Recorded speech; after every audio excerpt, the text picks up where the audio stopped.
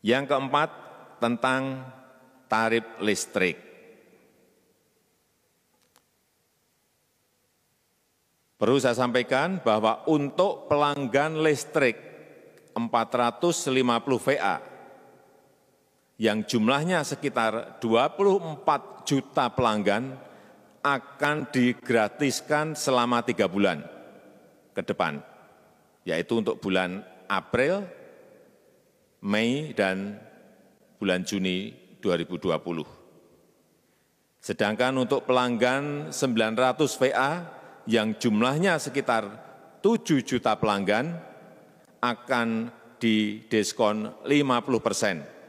Artinya hanya membayar separuh saja untuk bulan April, Mei, dan bulan Juni 2020.